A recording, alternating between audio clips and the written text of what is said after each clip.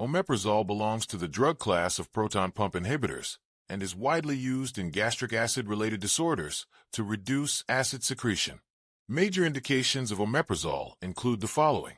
In the treatment of peptic ulcer and gastroesophageal reflux diseases, Zollinger-Ellison syndrome, as a part of the Helicobacter pylori eradication therapy, for prevention of gastritis in patients who are taking long-term nonsteroidal anti-inflammatory drugs, and for stress ulcer prophylaxis in critically ill patients.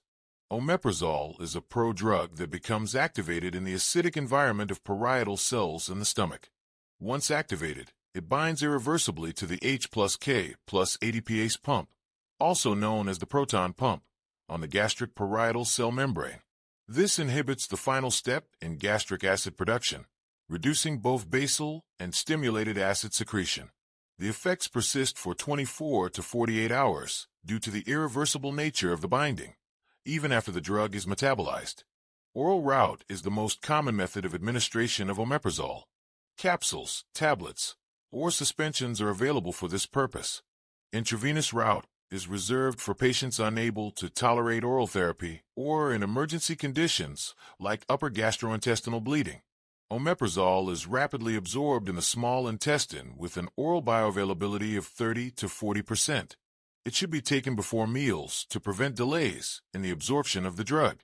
Omeprazole is extensively metabolized in the liver by cytochrome P450 enzymes, primarily CYP2C19 and CYP3A4, and the metabolites are excreted primarily via the urine and to a much lesser extent in feces. Omeprazole is generally well tolerated by most individuals. Potential adverse effects include the following. Gastrointestinal effects such as nausea, vomiting, diarrhea, constipation, and abdominal pain. Central nervous system effects such as headache, dizziness, and rarely, confusion or somnolence.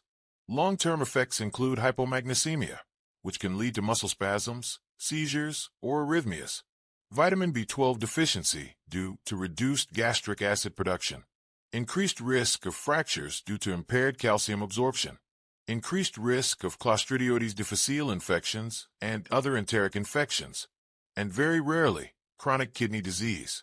Contraindications for omeprazole therapy include the following. Hypersensitivity to omeprazole or other proton pump inhibitors.